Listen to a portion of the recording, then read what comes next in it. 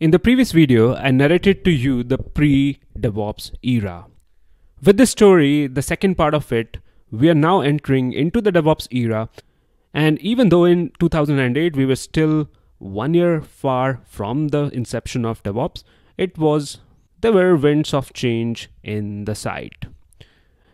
I had also described to you the state of the infrastructure, which was ad hoc and inconsistent in pre-DevOps era, but around 2008 was my when my team came across a tool called as Puppet, which was also part of a domain called as configuration management, where instead of making this ad hoc infrastructure changes in an inconsistent way, you could drive the change management through a centralized configuration management system. So all you had to do was write the infrastructure as a code, which was a very interesting concept at that point of time, and then publish it to a centralized server, and all your systems would pull the changes automatically from that centralized servers and configure themselves. So absolute consistency was something that you could easily achieve with this. And this is something we started experimenting with, my team did, and then we saw intangible immediate effects because now we had you know very little issues uh, that would you know uh, perpetrate to the production systems because of the configurations or changes or any infrastructure related issues right? And uh, it, another interesting thing about uh, puppet as a configuration management system was it was used by the likes of google at that point of time. So there was an aura around that tool and you know a lot of interest was drawn because of just that one fact.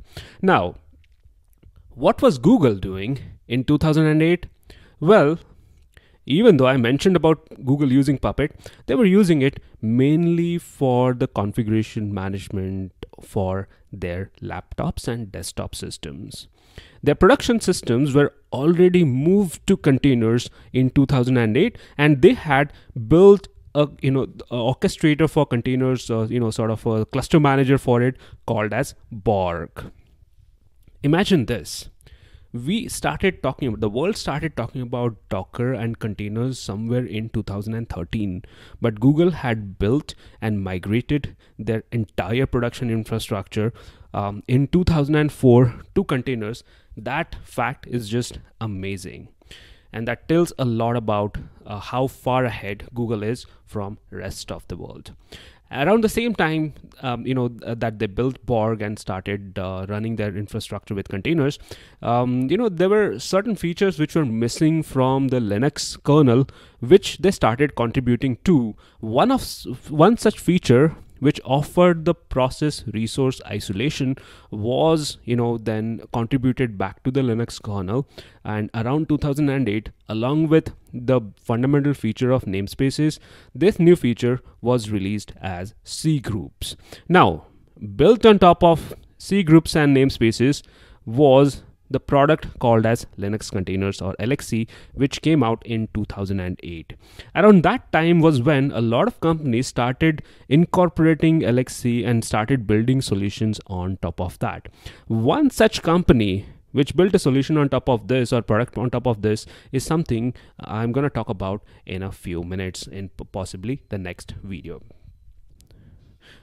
In 2008, in another part of the world, there was a person from Ghent, Belgium by name Patrick Debois who presented a paper in the Agile conference in Toronto, Canada about how to make the operations and the infrastructure more agile. Now, we're talking about 2008, where, where Agile was only limited to the development uh, practices. So, not a lot of takers for this particular, uh, you know, uh, philosophy or thoughts. However, there was one person in that same conference. In, in fact there was another interesting story around this um, you know uh, around this conference where patrick debois had organized a birds of feather session an informal session in a con- formal conference uh, which received so low response that even patrick did not attend that session. But this particular person Andrew Clay Shafer, um, went to that uh, session. Uh, he actually uh, found Patrick in the same conference and they started a conversation which resulted in formation of this agile systems administrator group. Now, not a lot of things happened around that time, But uh, fast forward to 2009, which I also call as the inception here of DevOps, you know, when cloud was going full throttle, mainly the AWS. AWS has launched some interesting services, including, you know, the virtual private cloud, VPCs, the Elastic Block Stores. Um, the, you know, um, one of the most interesting feature at that time was auto scaling and that was the beginning of a lot of companies leveraging the cloud and dynamically scaling out their infrastructure and building their solutions on top of that right? Um, around that time when a lot of people were busy watching pitbull and miley cyrus and that was the, that, that's a list of most watched videos in 2009 there was one specific video on youtube which grabbed my attention particularly was uh, these two people talking about something called as 10 plus deploys per day. And uh, john allspaw along with paul hammond uh, from flickr talked about how dev and operations cooperation can lead to 10 plus deploys per day now, as I described in the earlier video, we, we were just talking about uh, two releases per month, and that was a big thing for us. And here were you know, uh, uh, here was a company who was talking about 10 plus deploys a day. And that was sort of surprising, shocking for a lot of people. Uh, however, what they also described was the how they achieved it by the you know by using a lot of automation uh, writing infrastructure as a code uh, bringing in a lot of practices uh, you know and collaboration in improving the collaboration between dev and ops and that gave us a way to actually start talking about uh, and you know uh, thinking about how we could also achieve it. And then patrick was back in 2009 he was also watching this uh, you know uh, this this conference uh, live streaming of that possibly. And uh, that's exactly when he would have thought hey this is exactly what i was talking about in the agile conference in, in, you know back in 2008 and then he started this conversation on the internet which led to the very first devops days being organized in ghent belgium in 2009 and that was when the you know the discussion between hey how can we achieve the collaboration between DevOps and you know um, move faster as an organization started. And that conversation struck on on the internet. Since on the internet like twitter we have uh, you know very little real estate this devops days became a hashtag of you know devops. And that was when this devops as a word was actually coined. So what started as a you know just a mere discussion on the internet and then you know it grew into a very widespread movement what we call as DevOps practices today. Around 2009 was also the time when um, you know uh, there was some development on the configuration management side where uh, some of the developers, a subset of developers of Puppet, the tool that I talked about earlier, um, had diverged and created a new product called as Chef.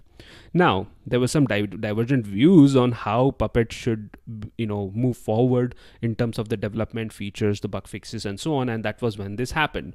Now, since there were subset of developers of Puppet when they created chef they brought in a lot of good features of puppet yes but they also lot of added uh, brought in a lot of uh, negative points and the complexities around puppet as well. Uh, it was still based on ruby. Uh, if you wanted to extend chef you still had to be a ruby programmer. And uh, it, even though it was very powerful it was very friendly with cloud it was also quite complex to get started with to learn and to extend Around that time was when probably one guy would possibly be amused at this development and he had started working on something else and uh, started at least thinking about that and that's what i assume and i'm going to talk about the story of that person in uh, in, in a few minutes time and this was also an important development the chef and puppet uh, because those were the two tools which became at one point of time if you wanted to do devops it was almost equivalent to using either of puppet or chef right so that's that's the reason why this development was important and what I'm talking about here is the story from 2008 and 2009. That was the beginning inception years of DevOps. What comes next is the era of chaos. And let's talk about it in the next lesson.